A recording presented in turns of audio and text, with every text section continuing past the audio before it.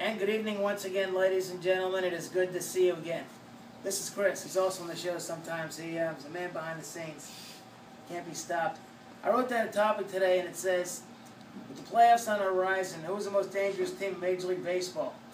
Well, Chris is a Braves fan, and to me, the Braves are the most dangerous team in the playoffs. I know there'll be a wild card team. In case they win the wild card game and they get loose in the playoffs, here's what they have. One, a deep starting pitching staff. Two, a stud closer, Craig Kimbrel. Three, enough guys that can hit. And four, this Chipper Jones emotion.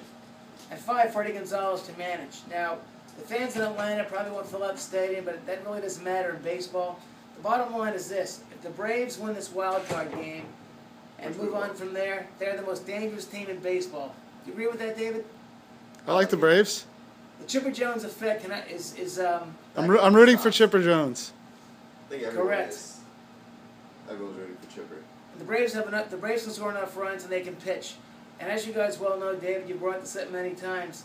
Those low-scoring games and base in the playoffs with the pitching and the bullpens and, and grinding out wins, the Braves can do all that. Later on today, in the world-famous game show called Name That Fantasy Football Stud from 1995, Seattle running back Chris Warren. Remember him? He had about three good years with Seattle. His best one was 1995 when he scored about 15 touchdowns. I'll see you guys later on today.